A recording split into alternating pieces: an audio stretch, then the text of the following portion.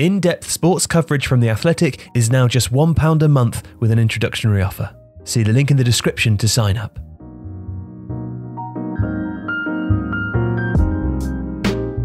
The Ajax team of 1994 95 is rightly considered to be one of the greatest ever.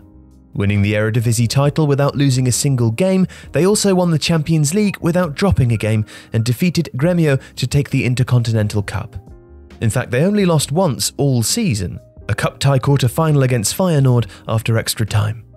No other side in history has won the Champions League while also going unbeaten to win their domestic title. And their manager was Louis van Gaal, Van Gaal was a systems orientated coach who believed in rehearsed movements, specific responses to situations. Wingers could take on one opponent by dribbling, for example, but if faced by two, would have to pass in field, and who used data and opposition analysis heavily well before it was the norm. Van Gaal was a product of the Dutch school of total football, begun by Rinus Michels and refined by Johan Cruyff. The key tenet of the philosophy was to control space, to make the pitch big in attack with width and positional interchanges and small in defence, with a high line, pressing and vertical compactness. Van Gaal took a less individualistic approach to this though, privileging team cohesion over star players, and building his Ajax team mostly from youth products. The average age of the starting 11 who won the Champions League final was 24.7, with only two starters over 25. Both substitutes were 18. He used a 3-4-3, which was instituted when Cruyff pushed a defender into midfield to create a diamond shape. Now this was partly because most Eredivisie sides used two attackers, so three defenders still had an advantage, and because goalkeepers could be the spare man with the ball at their feet, with passing ability prized almost above goalkeeping fundamentals. Ajax's wide defenders, who were technically centre-backs in a back three but played effectively like fullbacks, often stayed quite wide, Generally, Frank de Boer played on the left but tucked in a bit, while Michael Reiziger was extremely fast and would press higher on the right. Danny Blind, one of the team's veterans at 31, was generally the central centre back, and the three were protected by the deepest midfielder, mostly Frank Rijkaard, another of the older players who had rejoined the club after a very successful spell at AC Milan. These two would read the game, and once in possession, Rijkaard would often drop off and he and Blind would bring the ball up while the fullbacks offered width. The diamond formation allowed for numerical superiority in midfield, as the two flanking midfielders stayed relatively central. They would act as pressers, but also were there to show as passing options for the wide attackers or the pivot, Rijkaard.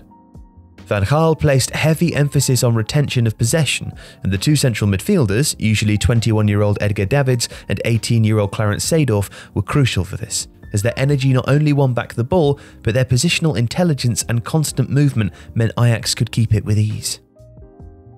Width and attack came from the wide players of the front three.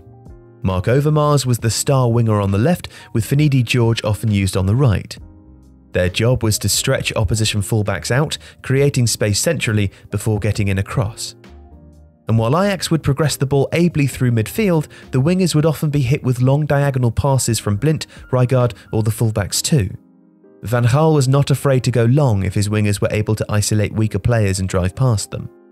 The creation of space centrally was also achieved by the centre forward, usually Patrick Kluivert, or the highly versatile Ronald de Boer who occupied the centre backs, pushing them back. That left space for the tip of the midfield diamond, the 10, the creative hub of the team, who also crucially set the tone for the team's press. The 10 was also expected to advance up to support the striker.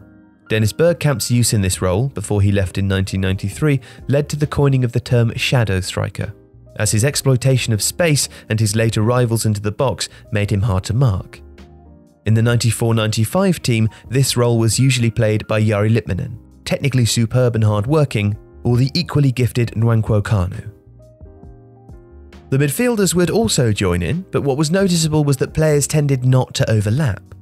The fullbacks would stay behind the wingers, and the flanking midfielders would push wide but not overlap, allowing for the recycling of possession and switches of play, but meaning that the wingers always had room to run into. In the league and against weaker teams in European competition, Ajax would really compress the space, with the fullbacks defending beyond the halfway line at times shielded by the positional acumen of Blind and Rijkaard and the excellence of Edwin van der Sar, a genuine sweeper keeper. Against the bigger teams in Europe, Van Gaal was not afraid to drop his deepest midfielder even deeper and rely on the industry of Davids and Seedorf to maintain midfield superiority.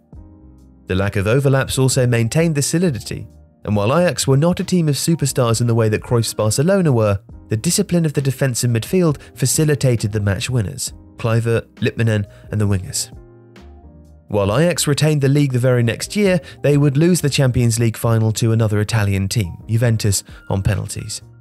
Van Gaal went on to see success with Barcelona, AZ Alkmaar, and Bayern Munich, while many members of the team went on to achieve honours at other clubs as the squad was gradually broken up. But in that 1994 95 season, Van Gaal and his young side were the best team in the world, playing a brilliant, intelligent brand of the game which remains strongly influential to this day.